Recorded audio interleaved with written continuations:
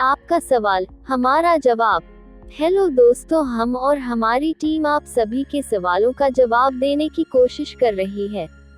आज के इस वीडियो में हम एक सवाल का जवाब जानेंगे, ताकि जल्द से जल्द आपके सवाल का जवाब मिल जाए।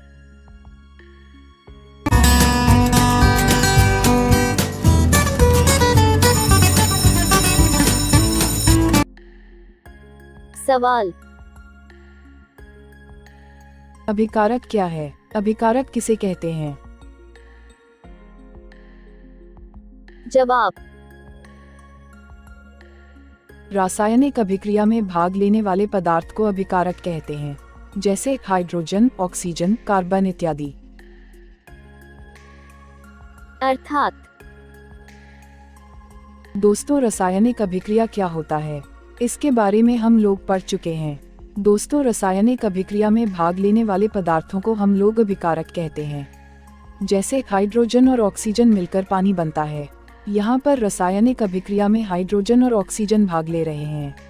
यहाँ हाइड्रोजन और ऑक्सीजन अभिकारक है। तो दोस्तों, अगर यह वीडियो अच्छा लगा हो तो हमारे वीडियो को लाइक और शेयर करें और हमारे चैनल को सब्सक्राइब कर अपना योगदान दें।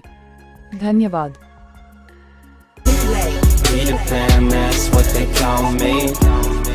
just acting out, but be lonely.